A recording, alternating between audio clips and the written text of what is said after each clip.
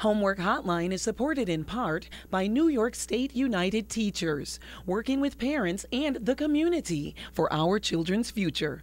NYSUT, a union of professionals, and by viewers like you.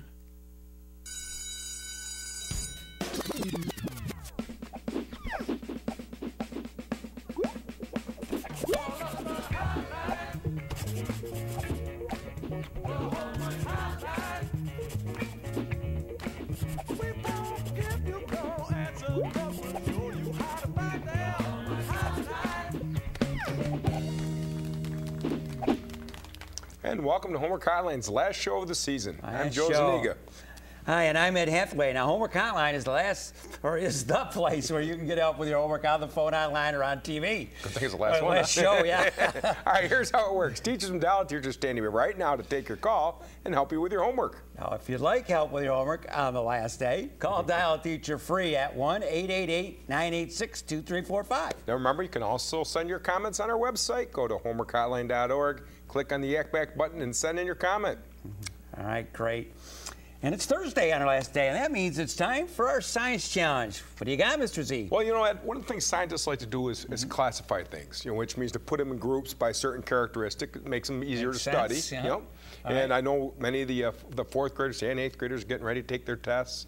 They're going to have to uh, do So some you're gonna help 'em classification. here a little bit. Well, that's this is kind of related to that. All right. But I, I got some some critters here. You know, we might refer to these as bugs, right? Yeah, or insects All right. or something, so, yeah. well, we got a you know we got a grasshopper and um, this is an ant. These are certainly aren't to scale. Right. We got a spider and a fly and a beetle. Uh-huh. And you know, you said insects, and mistakenly people think all of these are insects, but in fact the spider isn't. And I would be mistaken because Yeah, that's exactly what I thought. All right. Well, insects have six legs, three body parts. Spiders are arachnids. They fall in the same group with mites. They have two body parts and eight legs. Okay. All right. So although they are related, they're they're not There's insects. some characteristics Yep. you have, right? I got you. All right, and so actually that's going to be our question. Spiders, insects, um, there are two groups. Um, lobsters fall into another group, centipedes, millipedes. These guys are all in a big group. All right, now I'm not looking for group animals because they are all animals. but our true. question tonight is what's the name of the classification group that all of these creatures here share? That's a good question, Mr. Z. Thanks. I don't know. I'll be anxious to find out. Again, our science challenge tonight is what is the name of the classification group for all of those creatures that Mr. Z shared with us today? All right. Now, if you think you can solve this science challenge, give our hotline a call at 1 866 264 5904, or you can just answer it on our website, homeworkhotline.org. Answer correctly, and you could have a chance to share the answer at the end of the show. Every correct response will be added to our Hotline Hall of Fame. All right, and I think we have a caller. I think we do. Hi. Hello. Hello? Hi. Hello. Hi, is this Kenneth? Yep. Hi, Kenneth. How are you? Good. Good. What grade are you in, Kenneth? Third. It's in third grade. All right. I think I'm going to handle this one, right? Okay. All right, Kenneth. I think you have a certain math question for us, don't you, Kenneth? Yep. Go ahead. Tell me the question. Miss Reed baked our pans of food for a family party. Okay. Keep going. Use the rectangles to represent the pans. Okay, give me a second. I'm going to play with this guy a little bit. Don't do this too often, but we're going to work with rectangles. All right, I'm going to draw a rectangle up here. There's one. What can I do with this first rectangle, Kenneth? Uh, Just read the rest of the question to me. you can you use the uh, you have to uh, draw four rectangles. Four of them. Okay, I can do that. Let's try to keep them similar as best I can. We'll keep them You pretty got one and close. thirds. Hang on one second, Kenneth. All right, great.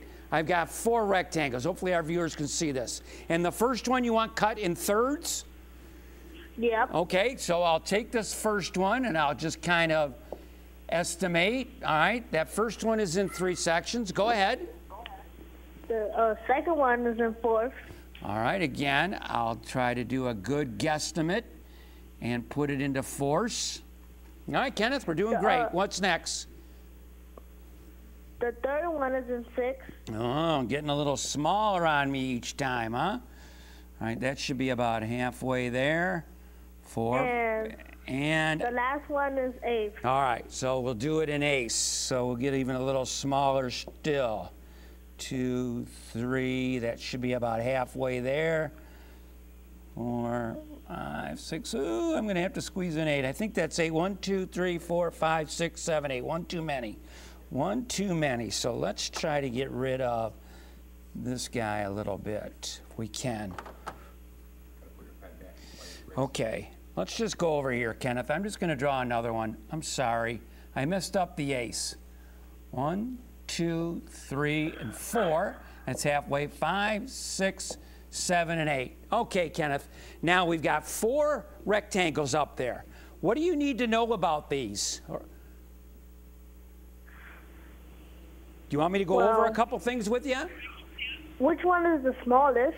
Okay, so in each pan, well, let's look at the let's look at the first one that we drew, which was in thirds. Okay, we had three pieces, so each one of these, like you mentioned, was in thirds. Well, those are kind of large pieces, and if they were like pieces of a pizza, you would get a nice chunk of pizza, wouldn't you, Kenneth? Huh? You would get a nice sized pizza there on that first one, wouldn't you? Okay, let's look at the second one. Now, this one is in force. Not quite as big. Kenneth, can you see that each size is a little smaller? Well, yeah. Yeah. okay. And notice the denominator is actually larger. Let's go on to the next guy where you wanted it in six. No, fourth. Well, we did force. We did force on the second one. Now Oh, yeah. we're going to do six here in the third one. Now, again, the pieces are getting smaller, but what do you notice about the denominator? Getting larger, isn't it? Better. Yeah. Yeah, three, four, six. And now we'll go over here to one eighth, and we got really small pieces. Much smaller than the first one, but again, the denominator is larger. So in these sort of instances, Kenneth, the larger the denominator is, the smaller the pieces. Is that making sense? Yeah. Okay, so what you what your teacher I'm sure is trying to show you here is just that that the more you cut up these rectangles, hopefully they're similar sizes, the more you break it up, the smaller each the pieces become. Okay, we could always, Mr. Z, we could always go over that Yogi Berra story. He goes in to buy a pizza and they ask him if he wants to cut it into fourths or eighths. And Yogi said, Oh, you better cut it in fourths. I can't eat eight pieces. So, but it really didn't matter because eventually all of these are the same size. But each individual piece is smaller depending on the larger denominator. That was a Yeah. great question, Kenneth. Thanks for calling. Can I ask a question? Okay, go ahead. Uh, am I really on TV? You are, and you did a great job. Thanks, Kenneth. Need help with your homework? Find the number for where you live and then make the call.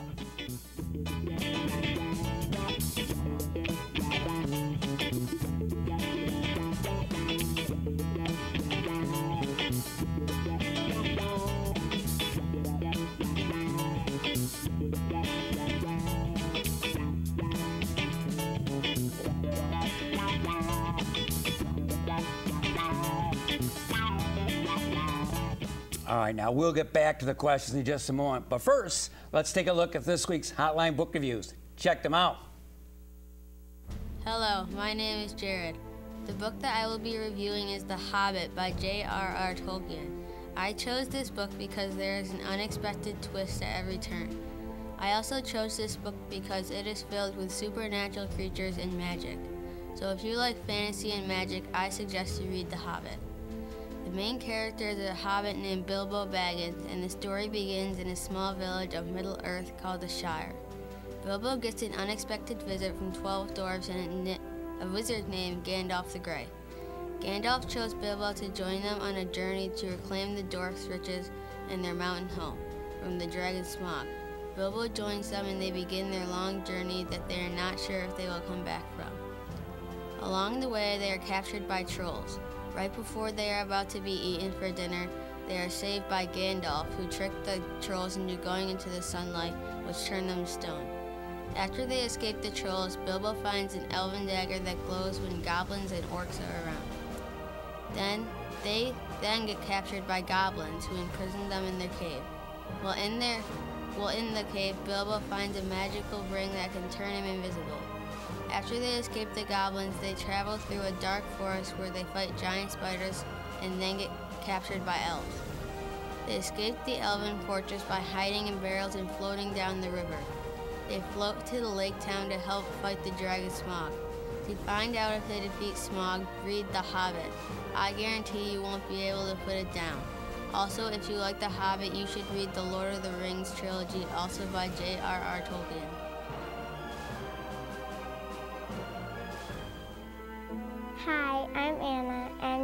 Book report is on Ghost Dog Secrets. Ghost Dog Secrets by Peg Kehret. One day, on the way to school, a boy named Rusty sees a poor German Shepherd that is left in someone's yard to stand alone in the cold weather outside. The dog he sees has no shelter, no food, and no water to live by, so Rusty comes and feeds the dog day after day. When he realizes that the German Shepherd has been hurt, Rusty knows that food isn't the only thing this dog needs.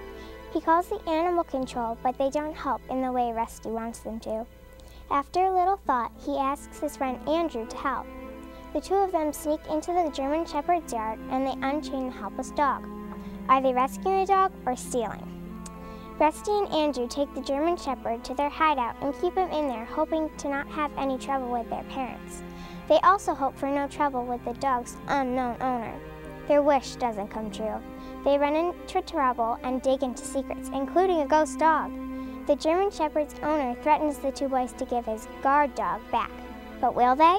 Will the ghost dog give any more clues? Will Rusty and Andrew succeed this daring project? Read Ghost Dog Secrets to find out. In the book, The Ghost of Fossil Glen, strange things are happening. Allie was panicking at the edge of the cliff at the glen. Did she hear a ghost? She had no clue who the ghost is or what it wants with her. It all started when Allie was at the glen looking for fossils. Allie got stuck on a cliff and didn't know what to do. Suddenly, a voice told her how to get down safely. Allie had no idea who it was because nobody else was at the glen with her. When she got home, she found a strange package in the mailbox from an unknown person. It was a journal with blank pages. Huh? Later that night, Allie was writing in that journal for a homework assignment. She walked out of the room for a minute, and when she got came back, she was in for a big surprise. So mysterious. What did it mean? The next day at school, there was a field trip to the Glen for Earth Day. Allie was in charge of cleaning the tombstones. Then she discovered a clue to unlocking the strange mystery of the journal and the ghost. Are you a fan of mysteries? Then this book is right for you to find the answers to all your questions.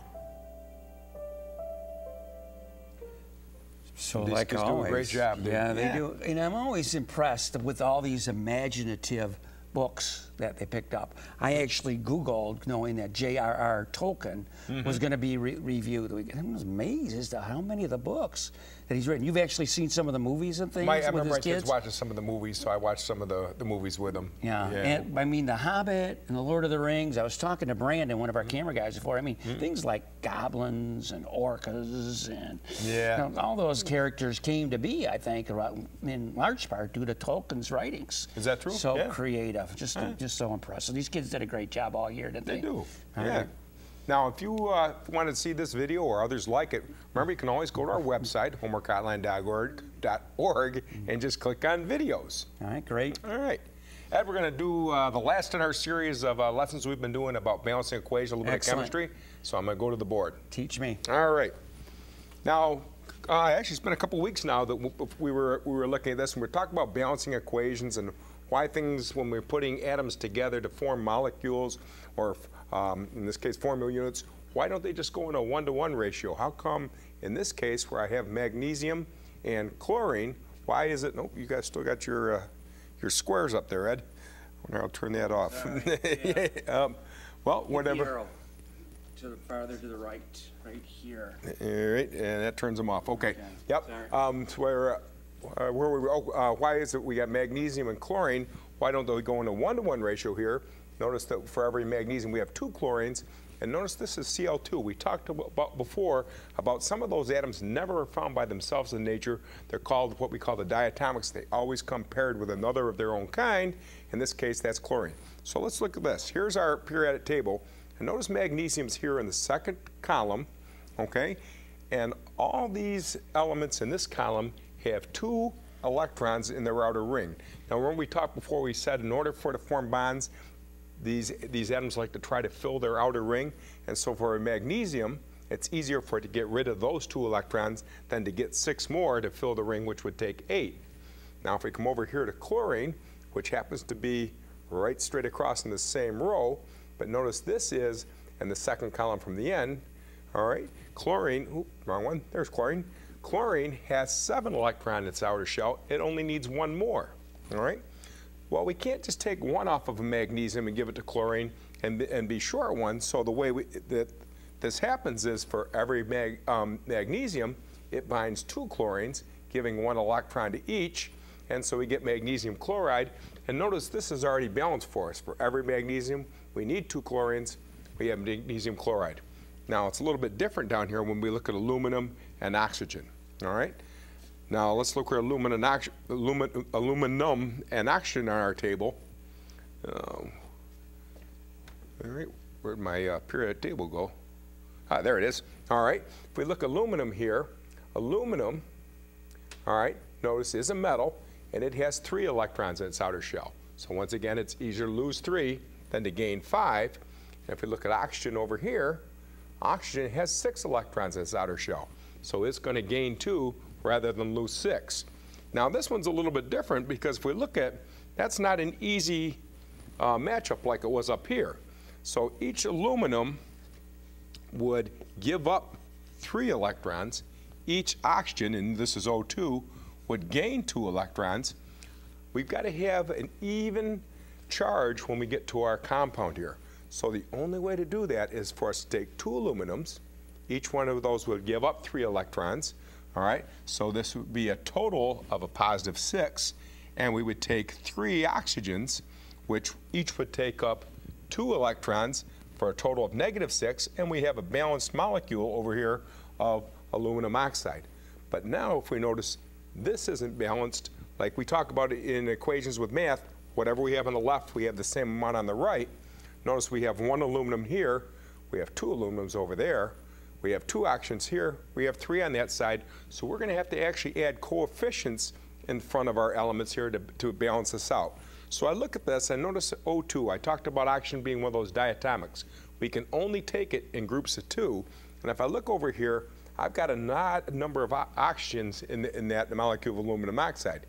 We can't take an odd number, so I know I'm going to have to double this. At least there's going to have to be a 2 in front of this because I've got to end up with an even number of oxygens, all right? So with that in mind, if I take 2 of this whole unit here, 2 aluminums times the 2 there would give me a total of 4 aluminums. If I look at oxygen, I'm taking 2 of that with 3 in each, so a total of 2 times 3 are 6 oxygens. If I come back here, I know I need 6 oxygens. I got to take them in bundles of 2, so I'm going to need to take 3 of the oxygen molecules, and now we have a balanced equation. Four aluminums here, two times two, four aluminums there. Three times two, six oxygens on this side, and two times three, six oxygen on that side.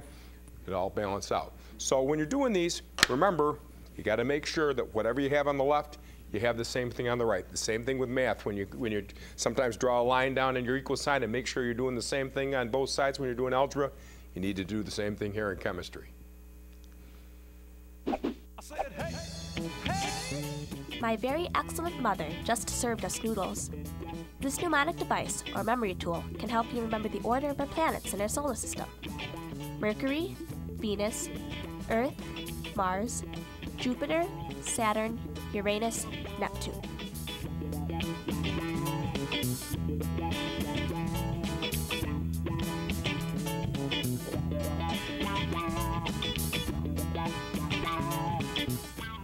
Nice job with Thanks, that. Ed. Little bit of- I had forgotten all about balancing come those things. but yeah, just like some of basic algebra. we use. Well done. Yeah.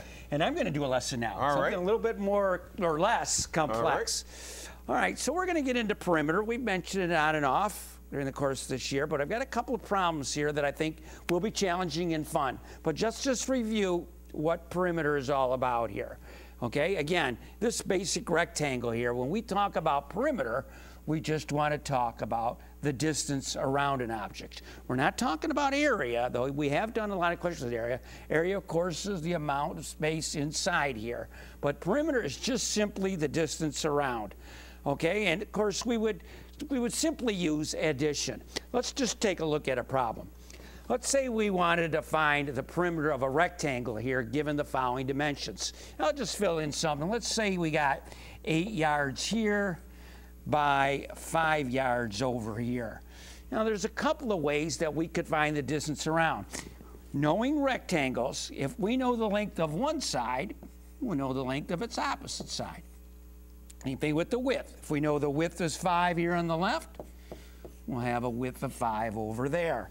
So a couple of ways people solve these perimeter problems with a rectangle. They can multiply two times eight and add to it the two times five. That way we've included all four sides. We get 16 here plus 10 there would give us a total of 26 yards. So the distance around that rectangle is 26. Another way, of course, would simply be to add 5 plus 8 plus 5 plus another 8. And again, you would get a distance of 26 yards. Let's go to one that's a little bit more challenging. Okay, now here we got dimensions. This is probably somebody's backyard that's kind of odd. The one thing that makes this kind of fun, let me get a different color up here.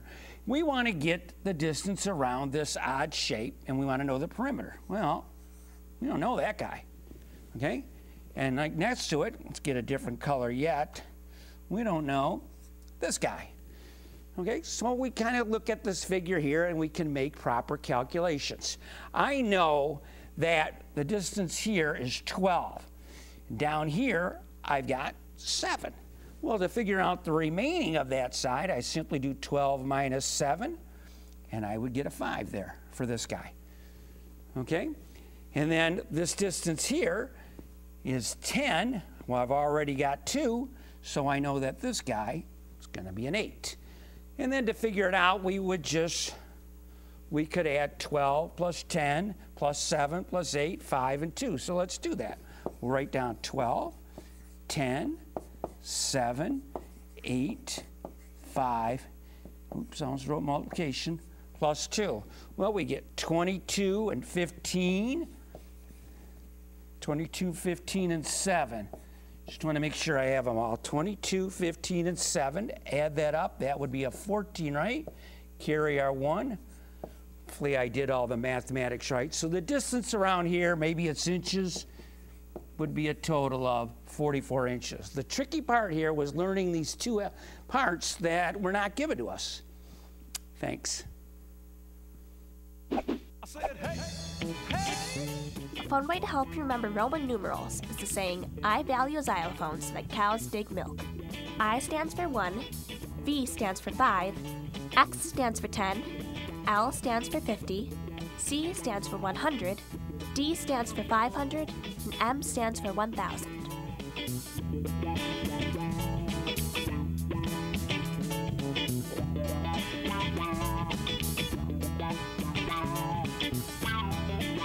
Mr. Z, we've got a winner. We do. The science challenge. Hello, Peter. Are you there? Yes. Hi, Peter. Uh, What's the group that all these guys fall into? Arthropod. Arthropods. Ah, Very All good. right, nice job, Peter. Very good. Now, do you know what that name arthropod means? No. No, arthro means joint and pod means foot, but the arthropods have these jointed appendages. You know, they're jointed legs. Some of the other characteristics of arthropods, they all have an exoskeleton. Their skeleton's on the outside. That's why when you step on a bug, it, it crunches, right? Ooh, Yeah, I had to mention yeah. that. and that skeleton's made of something called chitin. So, how did you know that? Did you look it up or did you hear that in school?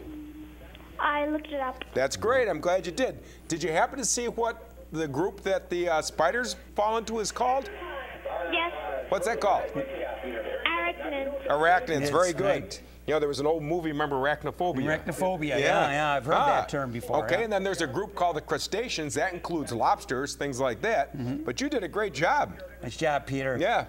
All right, hope your teacher's watching gives you extra credit for that, Peter. You did a great job. Now, congratulations, Thank you. Peter. Well, you're welcome. all right, but don't forget, every correct response goes in the Homework Hotline Hall of Fame. And that's all the time we're going to have for this season. Now, we are going to say goodbye, but Dial Teacher is still available with free homework help on the phones until 7 tonight. Now, Homework Hotline is done for the school year, but Dial a Teacher will still be open until May 12th to help you with your questions. And we'd like to thank all of the students who participated this year with the show, and of course, you, the viewer. We hope to see you back here in the fall. Have a good and safe summer. Good night now. Good night.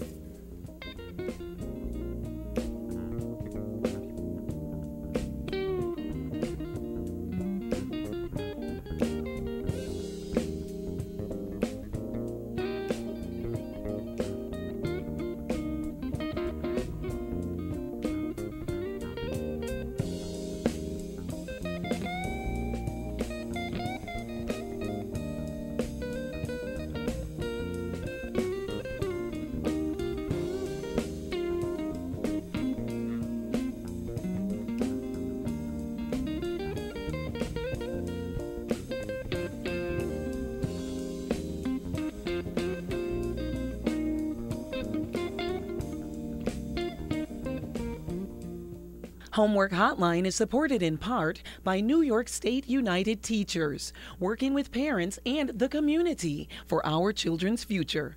NYSUT, a union of professionals, and by viewers like you.